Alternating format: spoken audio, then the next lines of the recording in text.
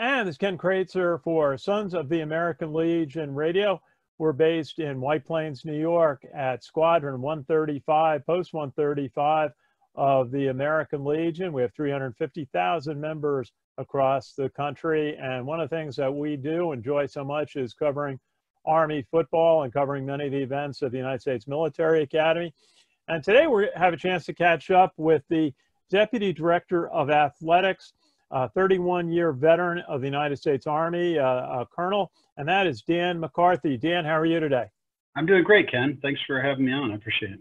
Our pleasure. It's been I've been looking forward to catching up with you. Uh, maybe if you would just tell us about what it's been like for you the last two months since uh, uh, spring break. The uh, cadets were sent home to study online, and I know the uh, we talked with Jeff Monken uh, about the work being done to uh, to communicate with the with the cadets and the athletes on a daily basis and and work with them as best you can. What's the last two months been like for you? Yeah, so it's obviously it's been very very different than uh, than the typical spring here at West Point. Um, you know, I think anybody, any of us that get into this business and working with athletics, um, you know, we do so because we're excited about being able to work with the young men and women who are on our athletic teams and and they're really the lifeblood of an athletic department. And so to not be able to have our student athletes on campus has been definitely uh, a, different kind of, it sort of drives you day to day. And then of course, not having competition, right? So getting the opportunity to see our, our, you know, the fruits of our labor, if you will, like what we put into our teams from a, an administrative and from a coaching perspective, to be able to watch our young men and women compete athletically and to compete for championships. Um, so it's definitely been very different. You know, the, the thing that's a little bit unique here at West Point, obviously, you know, we're in athletics, and so people who follow athletics knows that know that you know things have shut down across the country. Um, we're we're at a university, and so people who, who, who you know have sons or daughters maybe going to school right now, and they've had the, their sons or daughters home from schools because they've shut down. And I think the third component here that's unique is that um, you know we're a military uh, post. We're a military organization, and so we've got to deal with all of the, the sort of the military aspects of, of, of what we do here at West Point, to include you know following guidance from the Department of the Army, Department of Defense, and so those three things kind of come together um, and make it a unique environment um, for us to try to navigate through while we're dealing with the, this COVID crisis. And lastly, you know, West Point is a, is is like a gated community, right? It's a city in and of itself, and so um, our leadership, our university president, our superintendent um, has to deal with also being kind of the mayor of a city and making decisions, um, you know, public health decisions and things like that. So it's really created a very uh, challenging environment for us. I think we're well suited to handle it given um, the, the, the types of folks that we have here who've dealt with complex situations or crises in other parts of the world, you know, through their military training. Um, and so we've taken a military approach to kind of dealing with with COVID, and I think it's helped us to stay organized, to help us be thoughtful, um, and keep our our our students, our cadets, um, at the forefront of the decisions that we're making, their health and safety, what's best for them, at the forefront of what we're doing on a daily basis. Um, so yeah, it's it's definitely not uh, the typical spring. I, I wish we had been watching baseball and and yeah. and, and softball and and all, you know this our, all of our spring sports, men's and women's lacrosse, tennis, right, and and trying to compete for championships like we like we have in the past. But well, we yeah we were looking forward. We were already involved with covering uh, baseball and a little bit of lacrosse this spring. Mm-hmm. we're looking forward to spring football. And one of the things that's interesting, you just mentioned uh, the Superintendent General Darryl Williams. Uh, when he was uh, serving, in, he served as a commander of the Army in Africa uh, a number of years ago, and he was involved with fighting the Ebola crisis there. And when he was introduced at West Point, General Milley said, you know, how many lives he had saved. And I'm sure that experience uh, in Africa fighting Ebola was very valuable in this situation. But no, no doubt about it. I mean, he obviously uh, almost, you know, it, it, it almost uh, divine intervention, right? That we have a leader here at West Point that has that type of experience on his resume.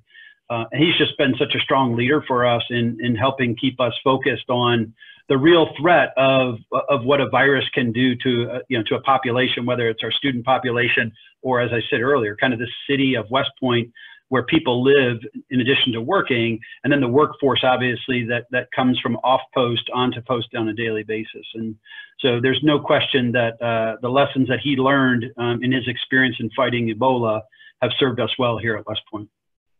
And uh, Colonel, one of the things that really stood out is in your background, 31 years in the Army, is how you uh, some of the places that you stopped and then that you were able to advance your education, the level of a PhD from MIT, Sloan School of Business, actually. Tell us, Wood, a little bit about uh, your transition from West Point into the Army service and then going into the direction of academics.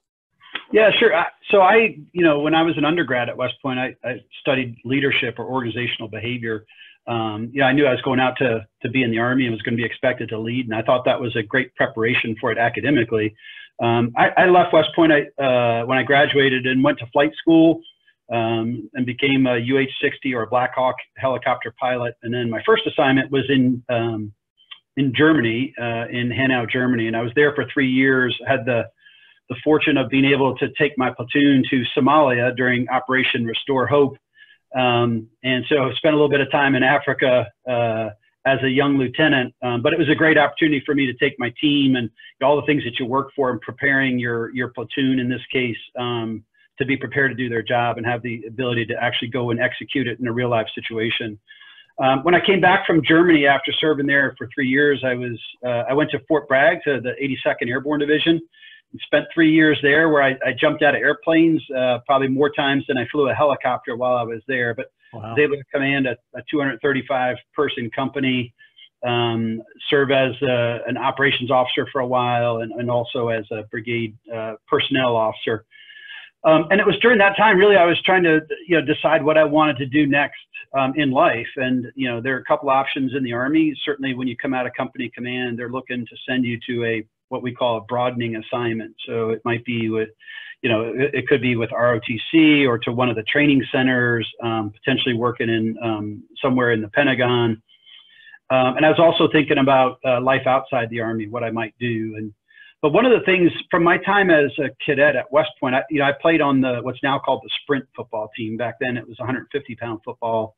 And uh, while I was a player on that team, you know, we had a couple of the coaches were civilians um, that worked in different capacities on West Point. But the most of the coaches back then were members of the faculty, so they might be teaching calculus, uh, you know, during the day, and then and then coaching football in the afternoon and evening. And uh, th- those those uh, folks, those Army folks who were our coaches. Um, were my mentors, right? They were the ones who helped shape my vision for what I wanted to be as a as an officer in the Army, and uh, certainly influential in my decision to join the aviation branch so as I was thinking about what I wanted to do after company command, I, I, I had thought back to my time as a cadet, and I thought what a great opportunity it would be to have the, the chance to go back to teach at West Point, and as importantly to to be able to work with student athletes, um, potentially as a coach for the 150 pound or now the sprint football team. And so I was very fortunate. Uh, to have the opportunity to do that. I, you know, I worked with, uh, um, maintained a good relationship with the head coach of the sprint football team, the head officer representative, uh, Colonel Kays, now Brigadier General retired Kays, who was the head of the Department of Systems Engineering and served as the head officer representative for the sprint football team. And so I'd reached out to him just about the possibility of coming back. Um, and really to get some professional guidance or mentorship on, on that process. And he offered me an opportunity to come back to his department in systems engineering. And so that really launched me into the opportunity to go to the University of Virginia. I spent uh, about a year and a half there where I picked up my master's degree in systems engineering, um, which is a, you know, is certainly a departure from studying organizational behavior at West Point. But, you know, as you're, as you're probably aware, West Point has a pretty broad-based core curriculum that includes a lot of math, science, and engineering. And thankfully, I had enough of that in my background um, that uh, the University of Virginia was willing to accept that, accept me into their systems engineering program.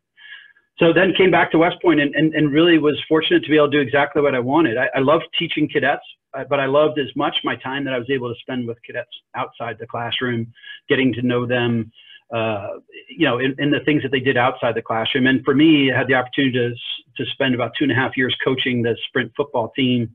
Um, and, and that's really, you know, to me, that was so fulfilling, right? To be able to make those connections with student athletes, helping them to balance their responsibilities in the classroom and, and on the football field.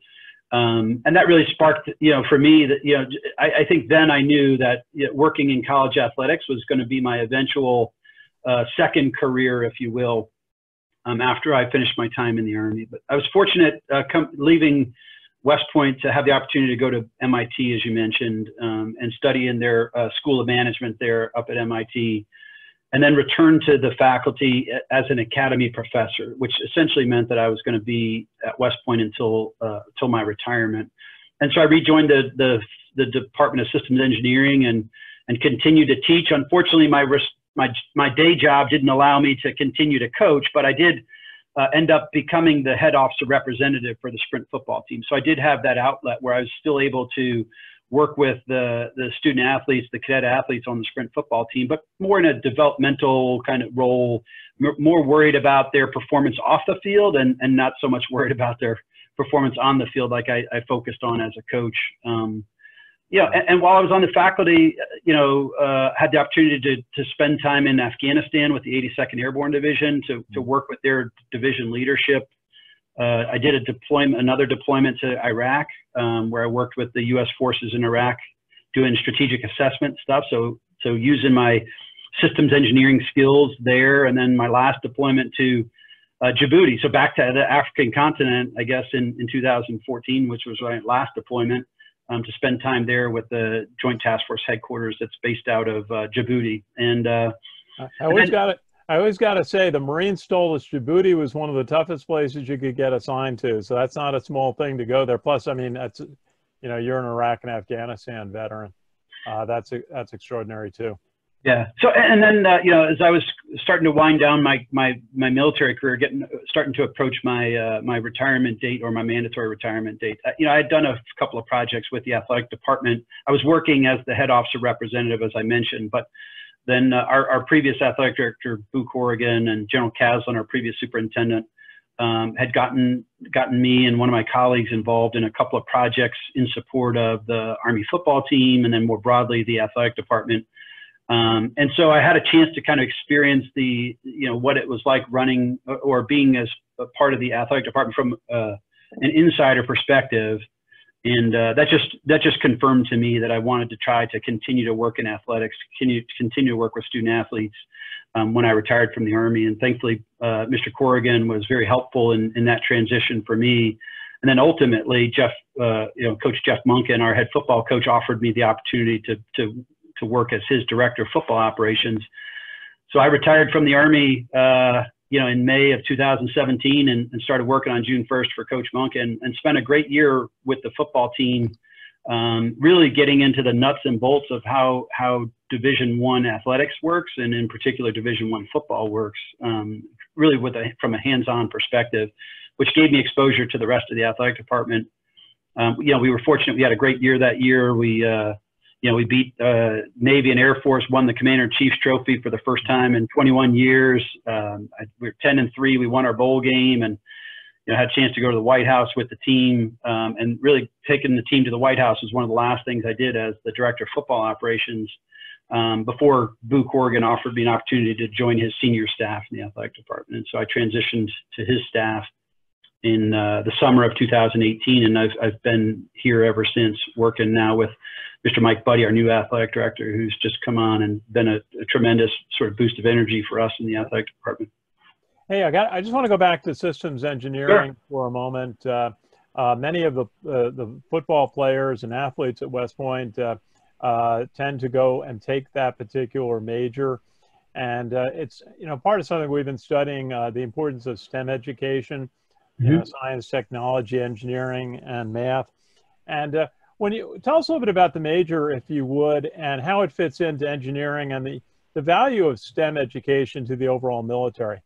Yeah, I, I guess I'll start where you ended, right? So the value of STEM in the military. Obviously, our military is becoming uh, increasingly complex, and the equipment that our soldiers are being asked to use and, and, and to employ on the battlefield are becoming more complex. And I think having a STEM background or a STEM education, I think just really I, uh, I, think it empowers and it gives our leaders a, a, a level of comfort with being able to um, lead an organization that's employing that complex equipment, right? And I'll, I'll, speak more specifically about systems engineering because you know I, I spent a lot of time while I was on the faculty trying to explain what it was to um, to cadets.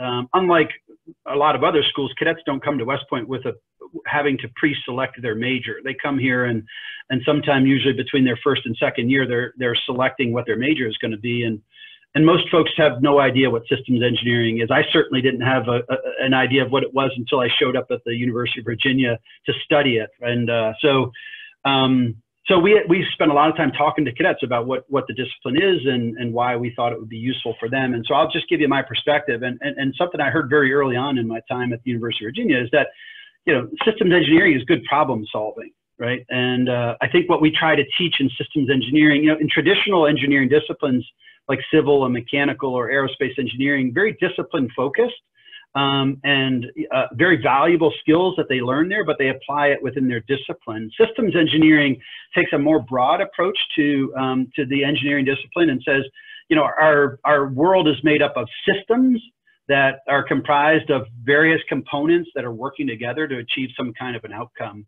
Um, and in order to solve that complexity, to understand the complexity of system level behavior, you need to be able to kind of aggregate the various components and see how they interact with one another. And so a lot of what systems engineers are asked to do, so I start with problem solving, right? Generally systems engineers are interacting with the customer to understand what their true problem or challenge is. And then they put together the team of professionals that are needed to solve that particular challenge. So if the challenge you know, the, the, the, solution set may call for a, a mechanical or a, a, civil engineer or an aerospace engineer or an economist or a financial management expert. The system engineer is going to bring that team together and is going to move that team towards solving the problem. And so oftentimes it's trying to build that team to integrate the work that's being done between different members and get them to come together. And where there are conflicts or challenges, the systems engineer is the one that has to try to be able to resolve those. And so, what a great uh, preparation for being an officer out in the Army, where you're going to be faced with complex challenges. There's no approved solution necessarily. Um, and the solution to that problem may be some combination of tools or techniques from various disciplines. And you may have to pull people together and get them to work towards a common solution or a common goal. And, and so I think the skills that you learn as a systems engineer translate very well into the roles and responsibilities of a leader in the Army. And then I would suggest a leader in life outside of the Army. And I, I often talk to our guys and gals when uh, you know, when they leave the army, you know, why are they so valuable, or why why do companies want to look for an officer to hire into their company? And one, it's because um, you know they're you know obviously they, they're trustworthy, they're committed to excellence, they've led, they've had these great experiences where they've had to solve tough problems. Um, and often put into complex and situations where they'll have to learn on the fly. They'll have to learn this particular discipline or the particular problem area. And so as a systems engineer, you'll have the academic background to make you more successful as an Army officer in solving those complex problems. And it's exactly what um, companies are going to want to try to hire you for when you leave the Army, to, to, to be able to give their toughest challenges to you and expect that you're going to go off and find a great solution and do it with integrity uh, and you're going to come back with with like i said with a solution that works right and so um, yeah, so I, I was blessed to to study it. I was blessed to teach it, um, and blessed to implement it in my life as I've, I've, as I've faced different challenges, whether it was being in Afghanistan with the 82nd Airborne Division, or being in in Iraq, or in Djibouti, or even into my role as the depart uh, as the director of football operations, or now as the as the deputy athletic director here in Army West Point Athletics.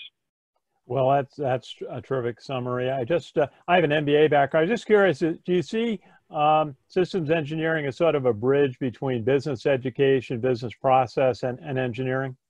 Yes, certainly. And, and in, in our Department of Systems Engineering at West Point, um, we often, I mean, we, our faculty will have, uh, when we send them off to graduate school to prepare them to teach, um, you know, there's a, there's a, th- there's a group of, of folks we're going to send off to get an MBA because we feel that that's a vital component to the systems engineering discipline, as well as sending folks like myself to a, a systems engineering pure uh, graduate program or an operations research uh, graduate program. So I think there are a, a, number of different, and engineering management as a separate field that we might uh, incorporate into that. So um, it, it, so to me, the, I think that the, the value in the systems engineer is they very often are the interface between the, the client or the problem and then the team that solves it.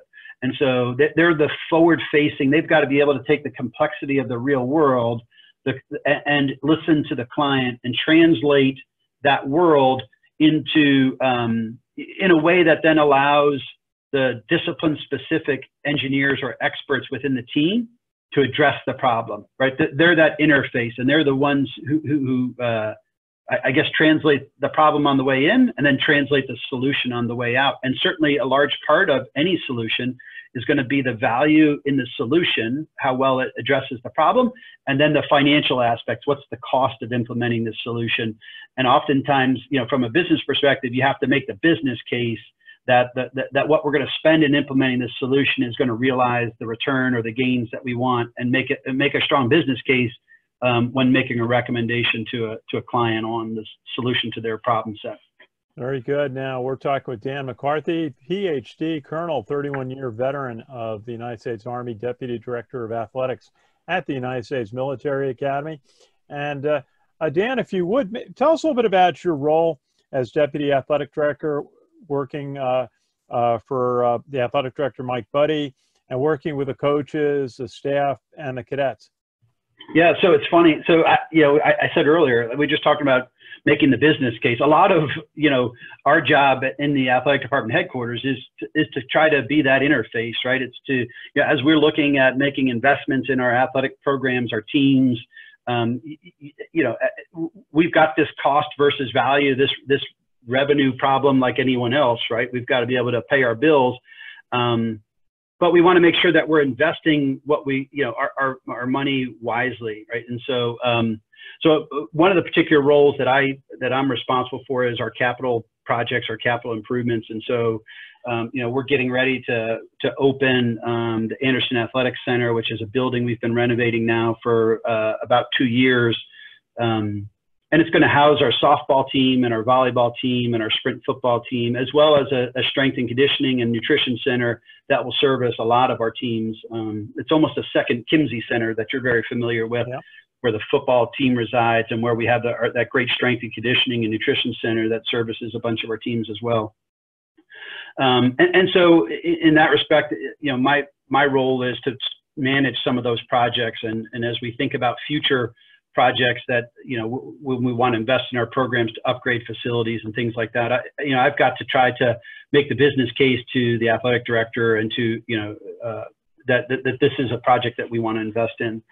Another area where I'm I'm, I'm uh, I try to help uh, uh Mike Buddie, our athletic director, is really in in support of the, the governance structure here at West Point. Um, as we have to represent um, the athletic department and the student athletes and to be a good partner within the the, the academy uh, system. And so, you know, that, that involves, you know, unfortunately the Army, lots of meetings, right, that we're trying to represent our interest in and, and to make sure that we're doing the best things, um, not just for our cadets, but in our case, particularly cadet athletes. And so as we make decisions here at West Point, um, you know, trying to be, to be able to represent those decisions. Um, and Mike is a, is a extremely quick study. I mean, he, he's is, is all in on West Point as, as anybody in just a short time that he's been here. Um, but but a large part of my role has been to try to help uh, him as he assimilates into West Point. Um, you know, I was fortunate enough to have a, a, strong background in West Point as a as a former cadet athlete, as a as a coach at one point, as a faculty member. Um, you know, and so um, being able to help accelerate his learning. You know, when you first come to a place like West Point, we use very different language than at a traditional university. Um, and so that's been uh, an area that I've focused on, not just with our athletic director, but some of the other senior staff that we've brought in to try to help um, their learning curve, if you accelerate their learning curve to understand the unique things about West Point. Um, yeah, but um, but then also, you know, as we tackle challenges for the department and we try to set the strategic vision, the strategic direction for the department, being involved in those conversations um, to try to figure out how do we do it in a West Point way, if you will.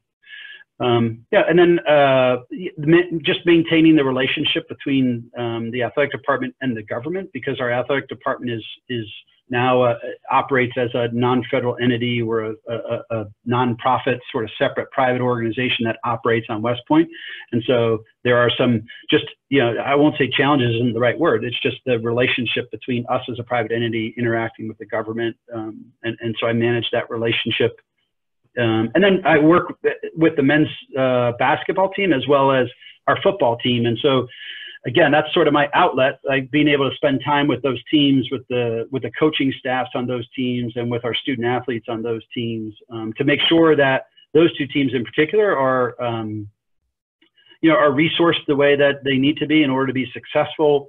Um, that as there, there, if there are obstacles um, that are identified by our players, by our coaches, by our support staff. I oversee the equipment staff for the entire athletic department, just trying to knock down those obstacles to facilitate success, right? Success on the court, success on the football field, success off off the court or the field in their lives as cadets um, in that cadet athlete equation. So um, yeah, and it's great. I, I, love being around and working with the with our coaching staffs, our support staffs, and and most probably uh, importantly our cadet athletes. And so that that that role as the sport administrator for football and men's basketball allows me to do that. Well, I wanted to ask you about the time you served as interim athletic director after Boo Corrigan left to go to North Carolina State last year, and uh, several of the teams did very well. And you had a very big day in Washington on the podium at the White House. Tell us about your experience uh, uh, there in last year. Yeah, so um, it was. Look, it was a it was a it was a, uh, a great time to serve as the interim athletic director. Our spring sports were finishing up, and we were fortunate enough to win several championships um, uh, last spring between our baseball team, our men's lacrosse team, our women's tennis team, um, uh, yeah, and our, our, our golf team. And and so it was a great time to be the interim athletic director. But one of the highlights certainly was getting to go to the White House um, to be presented with the Commander in Chief's trophy that we had won the previous fall um, in 2018 for the second time, the only time we'd won it back to back in the history of the CIC trophy. So the previous year, the previous May, I, I was at the White House as the director of football operations, and and while it was certainly a great experience, I was I was pretty busy just kind of managing to the details of the trip. But this, but last year, while I was serving as the interim athletic director, it was a, it was a completely different experience. I was able to to enjoy the, uh, you know, to, to be able to spend time in the Oval Office uh, with several members of the football team, with our with our head coach and with our uh, superintendent and sergeant major, uh, to meet the president, to be able to tour the White House. Um, it was it was really a pretty surreal experience, and uh, you know, you might remember Ken. That was the you know the super, uh, the president during his his talk in the in the Rose Garden there first made mention of the fact that uh, he was going to look for a way to allow academy graduates to pursue professional sports careers, and uh, that was really the you know, the genesis of that um, that discussion happened in the Oval Office, and and so um, now here we are. Uh, a year later, and, and we see the likes of Elijah Riley and Connor Slomka and Cole Christensen um, being able to sign free agent contracts with the NFL, and and uh, Zach McGraw with uh, Major League Soccer, Dom Franco in, in the NHL, and Jacob Hurtubise looking hopefully forward to him getting drafted here for baseball. And, and so the opportunities, you know, that what we talked about a year ago, you know, starting to come to fruition for some of our, our cadet athletes to be able to pursue a professional sports career um, while deferring their service. Ultimately, they'll serve their, their um, uh, their time as commissioned officers in the Army when their professional careers are done. I just think it, you know, we found a way, you know, really to get the best of both worlds to allow these kids to pursue their passion for athletics um, while still reserving the, the service that they're all committed to, to serve the Army, to serve our country as officers uh, in the Army um, when that time comes for them. And all be great representatives of the Army as they're having the chance to uh, uh, play professional sports. Now, just uh, wanted to get into talking a little bit about how you've been helping the cadets who uh, spent the last two months studying, working out at home, and what your thoughts are going into uh, starting to look at the fall. Um, a lot of talk in the uh, in the national press. Oklahoma's very anxious to uh, be able to come in and play at Michie Stadium in the fall, and we saw Ohio State's talking about playing with a reduced capacity to be in compliance on social distancing. Uh, what what's uh, what are you what are your thoughts on on what on planning for the fall at this point? Yeah, so uh, you know, obviously it was uh, you know uh, we were doing our very best to try to support our our cadet athletes, our student athletes during this weird time while they've been away remotely. Thankfully, the NCAA gave us some flexibility there in terms of being able to communicate with our kids. So a lot of Zoom meetings and those kinds of things going on. Um, a little difficult to do workouts um, because kids had every different you know had, you know they were they had access to a, a wide variety. Some with you know, may have had home gyms. Others, you know, might have had very little to work out. And so we've tried to do some things to provide them with some uh, tailored workouts and things that, based on the equipment they had available to them. And uh, and then obviously we're we're continuing to monitor their academics and those kinds of things to provide them support as they need it there. I think as we look forward to well, so you know, uh, we're looking forward here immediately to our um, our senior class coming back to to West Point to to participate in a graduation ceremony. I think a lot of us are excited to just to be able to have some students back on campus. Although you know our ability to interact with them will be pretty limited given the very uh, the strong health protocols that we've put in place to make sure that we're maintaining the safety of, of those kids, health and safety of those kids, as well as for the staff and faculty here. But it'll be nice to have that little bit of inject of of, of life at, here at the academy by having our seniors come back for a brief period of time. As we look forward to the fall, I think you know we're all like most schools, we're still in a, little bit of a wait and see approach. I think you know we're starting to see positive signs coming out of the NCAA, out of um, our professional sports leagues, out of some of the conferences and individual schools who are um, sort of making announcements of, of plans or planning factors that uh, um, to try to resume um, athletics um, on some level. And, and, and what form that's going to look like is, is we're still a long way off, I think, from knowing what that will be. But I think, right, we're, I think everybody is committed to trying to get back to a, a place where we can um, have our student athletes competing. Um, and obviously, first and foremost, making sure that we're doing that with their health and safety in mind. Um, and then as we talk about allowing fans or others to participate um, how, how are we able to do that safely? And so, as you mentioned, I think some schools have talked about maybe um, allowing fans into their venues in some, you know, at some reduced capacity that would um, facilitate social distancing or, or being able to do screening and those kinds of things to try to ensure the health of the of the population that's coming into a, an arena or to a stadium or um, you know you know we're and we're doing all those same kinds of planning exercises to to take a look at you know, what, what uh, procedures we would put in place, what would be the cost of those procedures, um, you know, and then you, as we talked earlier about, you know, making the business case, we have to weigh the cost of putting in procedures to allow uh, fans or to, to put our athletes back on um, the courts, and, and does that make sense even just from a business case? Um, but at the end of the day, I think we all want to play sports and we want to allow as many fans as we can to participate, whether that's in person or, or on TV or in another way. Um, but making sure that we're doing that in a, in a, in a safe way uh, and, and, taking the appropriate precautions to do it. So. I just wanted to ask you about uh, the Oklahoma game on September 26. Obviously, everybody's been looking forward to it. It's a big story out in Oklahoma. They were writing about it in the papers there. Is there any update? Is that is that game still scheduled as? So, as so our, all of our football games for this fall are still scheduled as, as we originally planned. Um, but uh, they're, they're scheduled. That doesn't mean that we're going to play those games, right? Obviously, the situation is going to develop, and we we may have to make alterations to our schedule, as as may Oklahoma have to make alterations to theirs based on how things unfold. Um, I think everybody here is, is is excited to have Oklahoma come here. Um, we were out there two years ago. I was I was with the football team there um, when we took them to overtime, and you know they, they uh, you know the the Oklahoma uh, fans, the Oklahoma administration there in the athletic department, they, they could not have been better hosts, more gracious hosts to us, um, and uh, and as we were out there, you know, and they were excited about us being there in their stadium, they were just as excited about coming out here to play at West Point and looking forward to it even back then. And so I think that's part of what you're uh, hearing out of there now is that, look, they, they were really looking forward to this game. We're looking forward to, to being able to host them And so uh, I know that they're committed to, and we're committed to doing our very best to, to be able to keep that game on our schedule. Um, but but we're going to have to just kind of see how things progress and see if we're both going to be able to make that happen. Yeah, we really had a we're really well treated when we went out to Oklahoma. I had the chance to go to Fort Sill, where my father commissioned in 1942, and we are just uh, tremendous hospitality by everybody at the athletic department at Oklahoma that day. Now it's uh, just maybe a final thought for you. It's Memorial Day weekend. It seems different because a lot of the parades and events are curtailed. Are there veterans who stand out in your mind who, who uh, in your career of service in the Army, there's so many uh, veterans from West Point. Uh, sadly, a number have died in service since 9-11. Uh, I also think of Chase Prasnicki, who's the a defensive back and a quarterback for Army. Lost on his first mission that he volunteered for when he went overseas. Are there veterans uh, that stand out in your mind?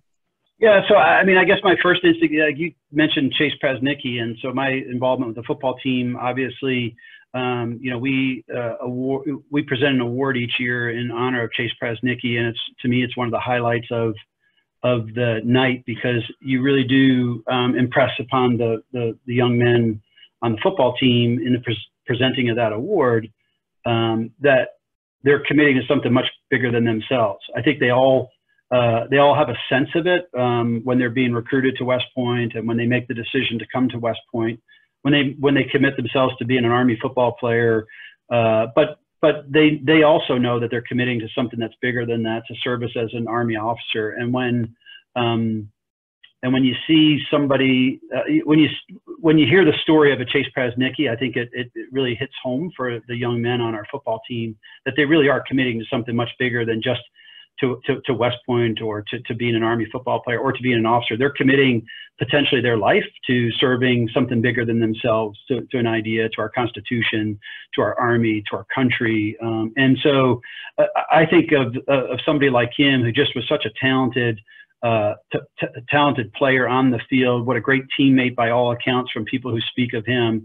Um, and then going on to uh, serve our country and then ultimately paying the, that, the ultimate sacrifice there. And I think know, that's really what Memorial Day is all about. And whether we're able to do that um, as we have traditionally or not, I think the, the message doesn't change that we need to be thankful that there are young men and women who are willing to serve our country in such a in such an impactful and direct way, and that who are ultimately willing to put their life on the line if need be um, in service to their country.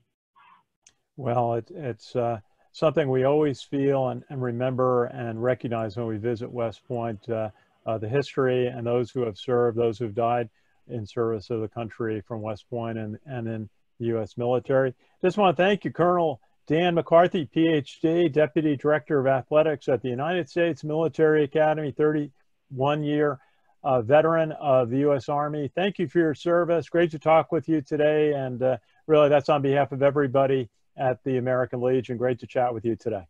Well, thanks, thanks, Ken. And I'm looking forward to seeing you out on a out at the practice field when we're out there with the Army football team at some point in the future. Uh, we're certainly looking forward to that. We enjoy that, and we enjoy telling the story of West Point and uh, Coach Monken's interviews and, and talking with the uh, cadets. So Again, uh, thank you to Colonel Dan McCarthy, PhD, Deputy Director of Athletics at West Point.